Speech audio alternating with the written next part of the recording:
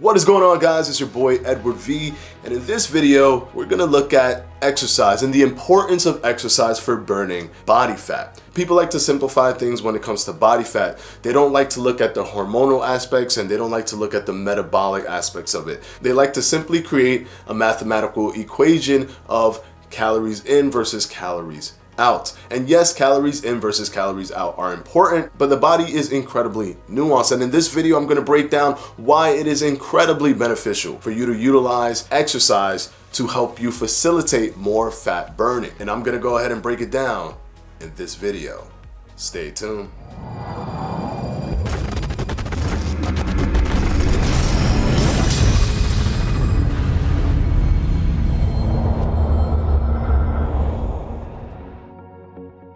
So your body uses the three macronutrients that you consume for energy. It uses carbs, fats, and proteins. However, carbs and fats are the primary used energy in your body when you're exercising, when you're doing aerobic or anaerobic exercises although some people believe that protein gives them energy, so they eat all of this protein so they can have energy and their muscles have energy. In reality, what protein is truly doing is just doing the muscle repair process. The things that are helping you exert energy, even within the muscle, are actually the carbohydrates and the fats. The muscle repair protein is in the mix, but at a very small percentage, like maybe 5%. And it is simply because it is doing muscle repair within the workout, within the exercise, actually trying to repair micro tears in the muscle that happen because of intensive movement. And yes, exercise helps you create a caloric deficit, and the consumption of food is where most of the calorie control for the day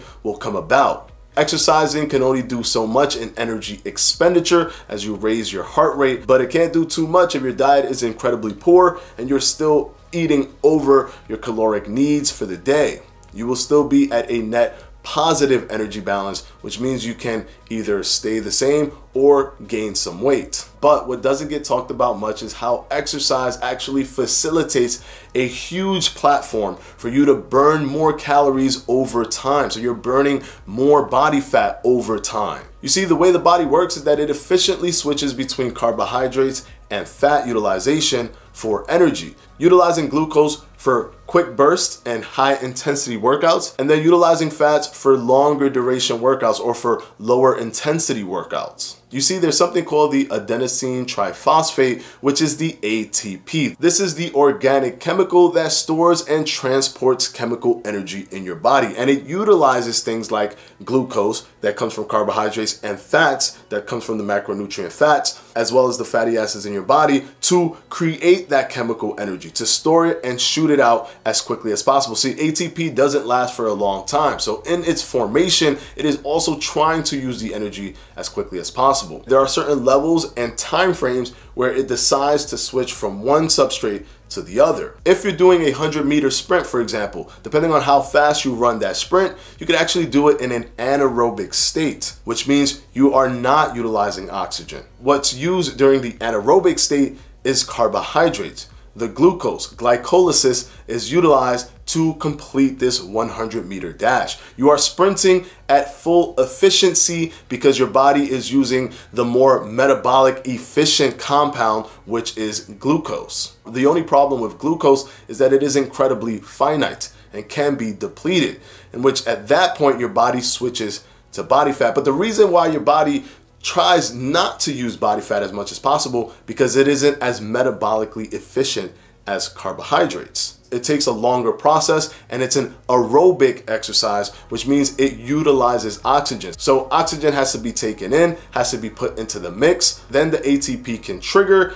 and then start sending those signals to energize your body. And that process is slower than if it was to use the carbohydrate substrate. So hopefully you understand aerobic is oxygen based, anaerobic is not oxygen based. If you do things that are low to moderate intensity, your body will most likely use fats because you're moving so slow and you're and you're basically requesting this energy at such a slow rate that your body can efficiently use the body fat to do that. When you do things from moderate to high intensity, your body tries to use glucose because moderate to high, you're requesting this energy in a much faster pace because you're exerting more energy by utilizing faster movements. Now, you can be doing one thing and still use both glucose and fats as you switch from one substrate to the other. And this can be, for example, when you're running and doing a jog. If you're starting a jog, you will notice that you are incredibly comfortable in the beginning. That's because you are in an anaerobic state when you start your jog. As you start to hit that threshold, within a matter of a few minutes, that's when your body starts to utilize oxygen.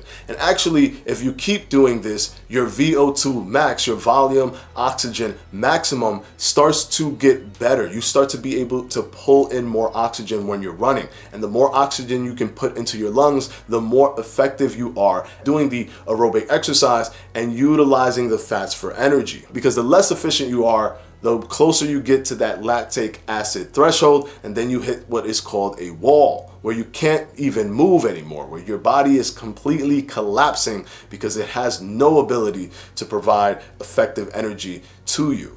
So you're probably saying to yourself, well, then I should just do low intensity exercises. But this is where calorie expenditure comes into play. Although you are exclusively burning fat, you tend to still burn less fat because the calorie burn from high intensity, where your heart rate is pumping at almost 80% of your max heart rate, you're burning so much calories that it encompasses body fat burning as well, and you end up still burning more body fat within the same time frame. So 30 minutes of low intensity versus 30 minutes of high intensity, 30 minutes of high intensity will still burn more fat overall. So keep that in mind. Now you're probably saying to yourself, that's all great and thank you for explaining that. But how does exercise help me burn more fat in the long run? Well, here it is. Exercise creates the pillars that allow your body to be more effective at burning body fat. How does it do this? Well, for one, you improve oxygen extraction. And when you're doing this, it helps your cells actually burn more fat. You become more effective at tapping into your fat because you've become better at extracting oxygen.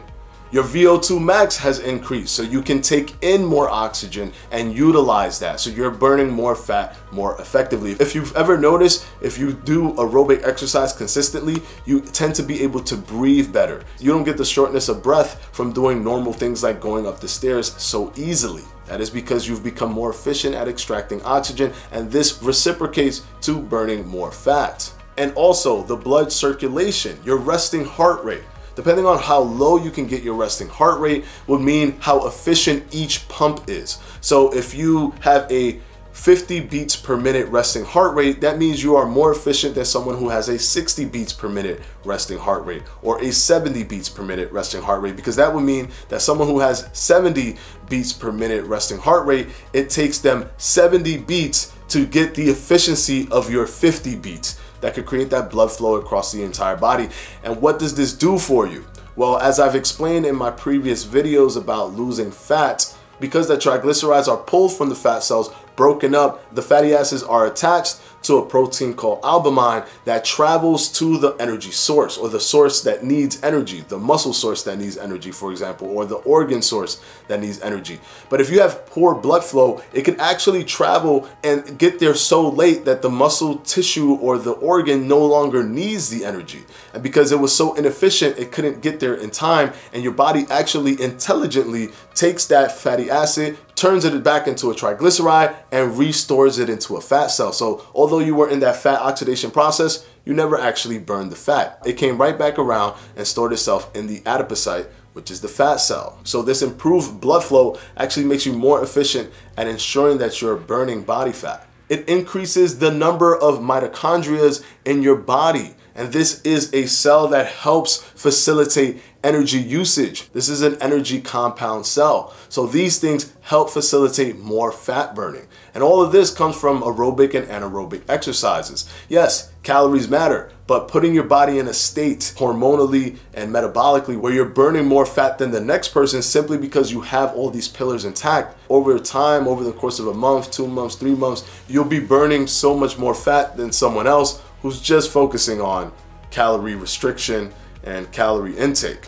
Also, building muscle, working out, actually lifting weights, resistance training. those things help as well. Although they're not burning more calories in the moment, they create other pillars that help you burn fat moving forward. The thing you have to understand is muscle is incredibly metabolically active. It's one of the most metabolically active things in your body and it's actually the primary driver for your metabolic rate. So if you want to ensure that although you're at a caloric restriction, which can create metabolic adaptation, adaptive thermogenesis where your body understands that this is how much calories it's going to get and it kind of brings everything to a level where it can work off of those calories that you're taking in and subsequently makes it harder for you to lose weight because your body has accepted these new calories and you'll have to go below that just to keep burning more calories. Ensuring that you're retaining muscle and building muscle actually ensures that you keep driving your metabolic rate. It's the primary driver to your metabolic rate is muscle tissue. So you always want to make sure that you are keeping muscle on your body or you are building muscle. And if you're overweight or detrained or you haven't really gone to the gym, you can actually build muscle and still lose body fat at the same time due to calorie partitioning. And remember, when resistance training, the most important thing is compound movements. You want to trigger as much muscle in the body as you can. So bench pressing, dips, pull-ups, squats, deadlifts. These are all great compound movements that trigger multiple muscle groups so that you can be efficient in your workouts. Isolation workouts like dumbbell curls are not going to be as effective as compound movements for hypertrophy, which means building muscle. So there you have it guys.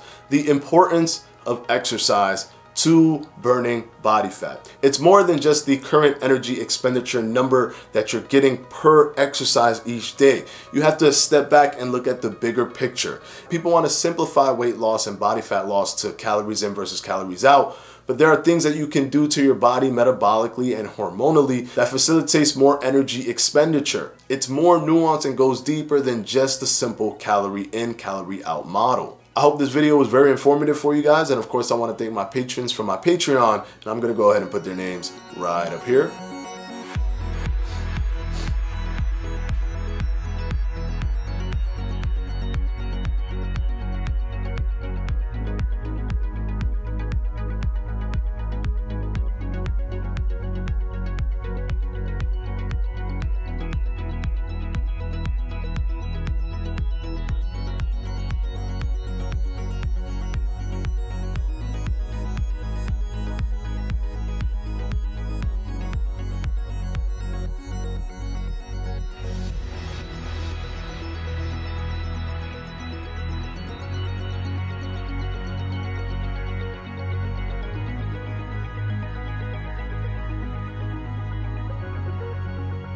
And of course, as always, guys, I'll see you on Sunday for another FAQ. Peace!